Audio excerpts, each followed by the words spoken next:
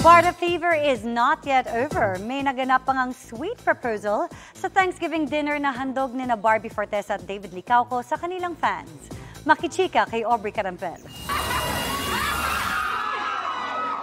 Sa intimate Thanksgiving dinner ni na Barbie Forteza at David Licauco para sa kanilang fans, muling nire-enact ng dalawa ang kilig scenes nila sa music video ng The Way You Look At Me na cover ng bandang Ben and Ben.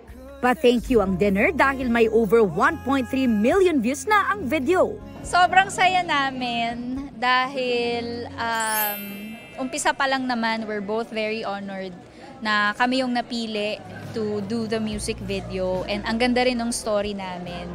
Um, kakaiba siya talaga and it's very heartfelt. Lahat ng to ay dahil sa mga sa fans na sumusuporta sa aming dalawa ni Barbie. So super thank you. Present din ang original singer ng kanta na si Christian Bautista na may cameo sa music video. Ben and Ben did an amazing job. At sa music video naman, uh, Barbie and David did an amazing job. It's always nice to to reintroduce the songs from the past generation to this generation to the next. Dahil maraming nabitin sa final scene ng music video, binigyan ito ng mas nakakakilig na ending sa Thanksgiving. Siya pa rin ba yung nakikita mo? Hindi na. Actually, meron akong gustong uh, gawin.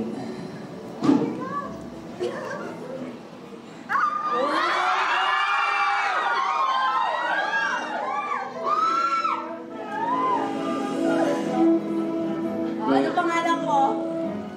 Um, Pinipiling Clay. Maaari mo ba akong uh, pakasalan?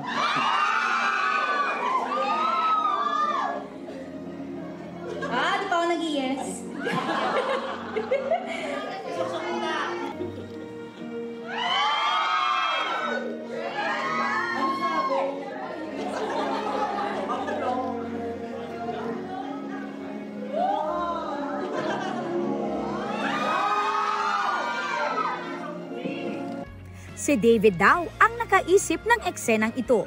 Parang tinanong ni Barbie kung siya pa rin ba. So parang isip ko lang maganda siguro gawin kung sabihin ko na actually papakasal. Parang gusto, gusto na kitang pakasalan. Ganun. Ganun. Bakit ka nahihiya? At ang ibinulong daw ni Barbie. Sabi niya sa akin, ano, yes. Eh, understood na yun. Sinuot na yung sing-sing eh. Sinusuot niya na nga yung sing-sing, hindi pa ako nag-iis eh. Assuming.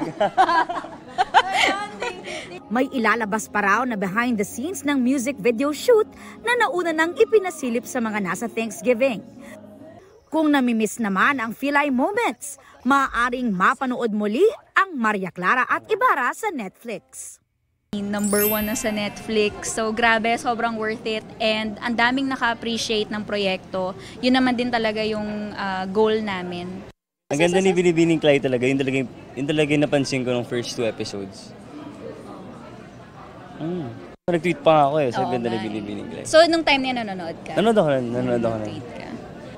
Aubrey Carampel, updated sa showbiz happenings.